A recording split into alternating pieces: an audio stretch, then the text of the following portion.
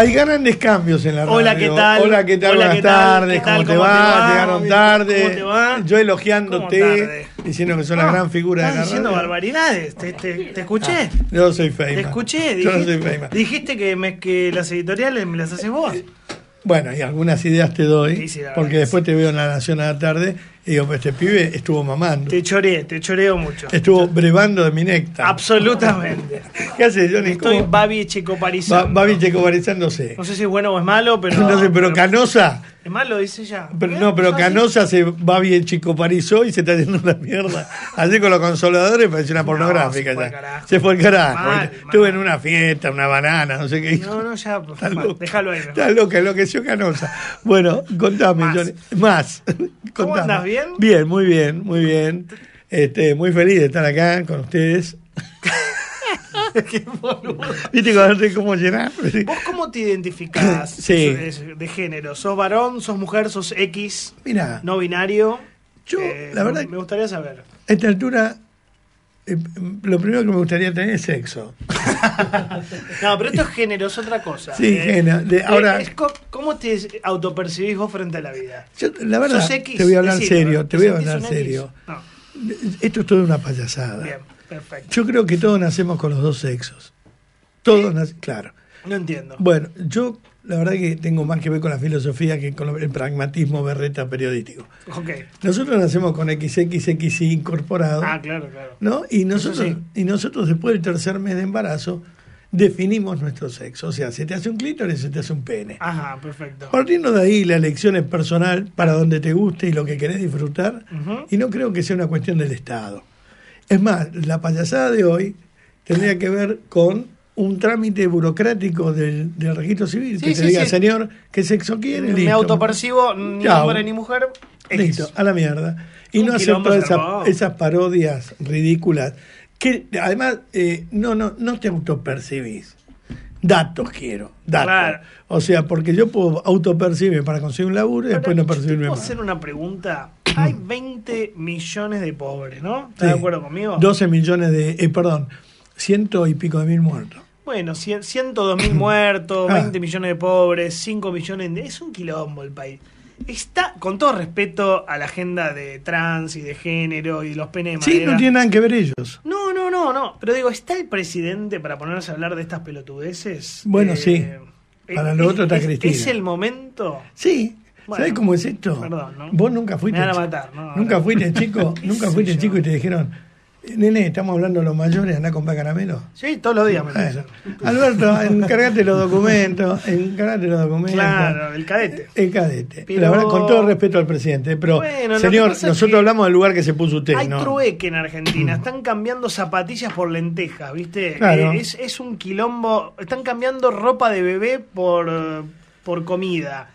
Y vos lo ves al presidente, porque X, el tema es cómo te autopercibes. No sé, Babi, me parece que están meando fuera del tarro. Me parece que no estamos conectando con el quilombo que hay en la Argentina, en el conurbano. Eh, el- el- No sé si a la gente está Eh, convencida yo creo con que, esto. que mi- eh, Alberto se despierta de mañana y dice, ¿qué logro voy a presentar? Claro, pero esto... Pero no, pero no, pero el logro es comer. En un país normal, es laburar, comer, ir a la fábrica, ser honesto, eh, eh, ser ¿Cómo le puedo laburante. facilitar en la vida a la gente? Claro. ¿Qué, qué, qué- qué acción puedo hacer para que el empresario hoy ponga más plata, Claro. para que el ¿Vos sabés tipo se lleve más el maguita a la asado casa? aumentó 100% en el último Sí, año. claro. 100%. Pero, claro, ¿Y sabes cómo termina esto? Están hablando de esta huevada. Hay una ley nueva que le vamos a dar pitos y pitas para todos los referís. Bueno, Y viste, bar para todos. mismo, claro, está bar bien, para está todos. bien, está bien. Hay un video, perdón, hay un video en TikTok. Sí. TikTok es la, Silvio Silvato. la literatura argentina de TikTok. Hay un video que hay un, un periodista un- preguntándole a una, mujer, a una señora, eh, si yo me, me- me autopercibo mujer, así con barba, como estoy, así Sí. vestido, ¿usted va a pensar que soy, yo soy una mujer? Y sí, sí, yo tengo que respetar, dice la mujer.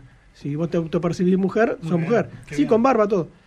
Entonces le dice, ¿y si me percibo un niño de 8 años?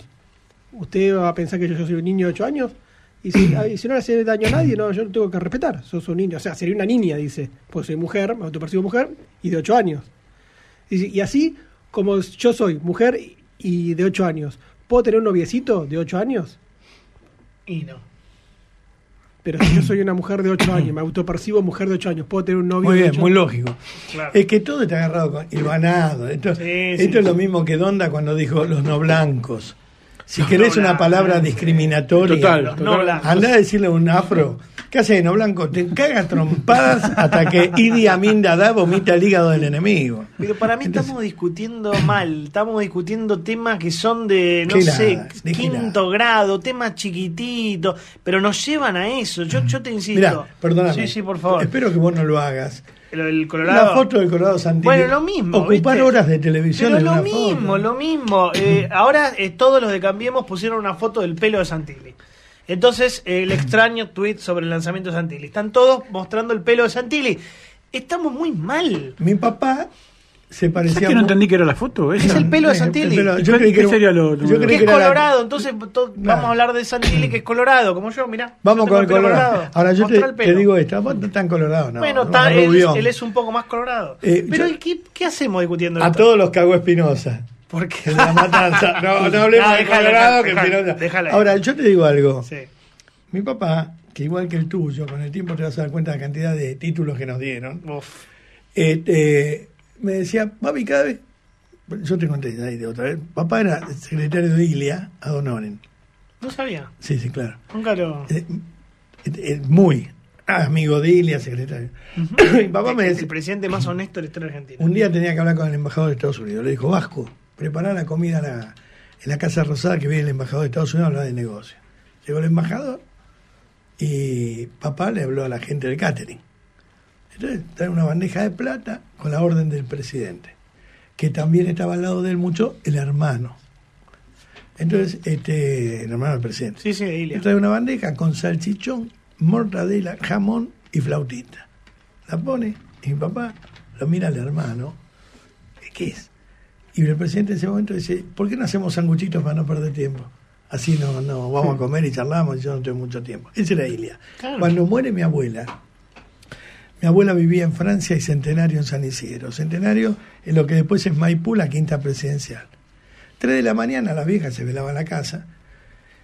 Las viejas empiezan a hablar. ¿Quién era? Artu- Arturo Ilia y el hermano, con el poncho al hombro en el colectivo 60 Mirá. de la quinta presidencial a mi casa, que era media cuadra de la avenida, se quedó tres horas con toda la vieja hablando Qué bárbaro. y se fue en Bondi. Y era el presidente de la nación. Bueno, Como cuando Churchill se metió al metro ¿no? y, Eh, le empezó a preguntar a la gente qué hacer con Alemania. eh, bueno. Sí. Y- pero eh, cierro con esto. Sí. Mi papá siempre me decía, Bobby, fíjate que cuando hay un quilombo en el gobierno, aparece Fabio Serpa. Y todo el mundo mira para arriba. ¿Vos te acordás que en la época del 60, 70, cada vez que había un quilombo grande, un golpe de Estado o algo, aparecía Fabio Serpa diciendo que habían bajado en el Uritorco dos naves que habían hecho una adopción. Siempre. Y todo el mundo, y papá me decía, vos te parás en la puerta de la Casa Rosada a mirar para arriba, como vienen los periodistas, Sí. no te preguntan si estamos quebrados, te preguntan qué está mirando. Una luz que cruzó así, son platos voladores. Esto es lo que hace este gobierno. Con este documento, con las huevadas que Sí, dicen. mi, papá, mi papá hinchaba en contra de la selección argentina. Yo no lo podía entender. Digo, vos sos argentino, ¿por qué hinchas en contra de la selección? Y dice, cada vez que gana la selección, al otro día aumenta la nafta. Obvio, obvio. O te ponen, Obvio. o te refuerzan o, el o te mandan como la otra noche, que sé yo, con la selección nos, nos metieron un pepino. Es, es lo que te digo, lo, del- lo del cepo al dólar. Mi- Te- lo decía en los endurecieron 80, ¿eh? Lo decía en los 80, El no contado con el contado con. Claro, siempre pasa eso. Bueno, los dejo hablar de Bueno, querido, Me voy a ver que me dijeron que hay una luz arriba. no, no sabes lo que ahora te mando. Giró y largó Está muy, después yo- linda, está muy linda la tarde, Eh, Sí, me voy a caminar por. Recoleta. Anda. Tengo una foto La- de. La vereda del sol, ¿eh? De un Sí. ovni. Ahora te lo mando en el Cerro Era- Torco. No, no, acá. No, se pe- ah, acá, sí, acá dice buena. que casi se da por delante a tres motochorros. No, es tremendo. Dios. Ahora, ahora te lo mando. Chau. Chao.